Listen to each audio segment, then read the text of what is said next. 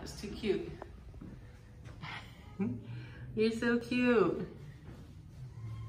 What? She's in the playroom across the hall from her room. Hi. Hi. That's adorable. Hi. Hi. Did you think I have a treat or something? No. Just love. Just love.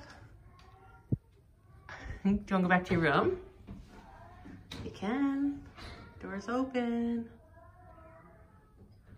You good girl. You good girl. All's well. You can come out? You can. She's been looking at Juno and Venus up above.